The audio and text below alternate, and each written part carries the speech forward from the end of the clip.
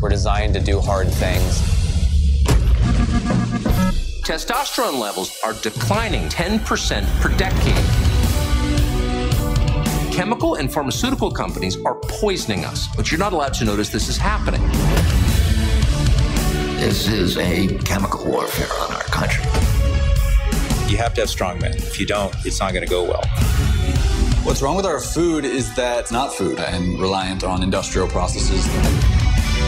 For many of these compounds, there's clear evidence that some of these chemicals causes problems with reproduction. Picking something hard to do every day will increase your testosterone. We need a renaissance. Getting into a healthier state, being a healthier person. That's when you really start to see improvement. No one in Washington seems interested at all. It's a joke to them. If men can't reproduce, then the world's over. We're headed for a calamity.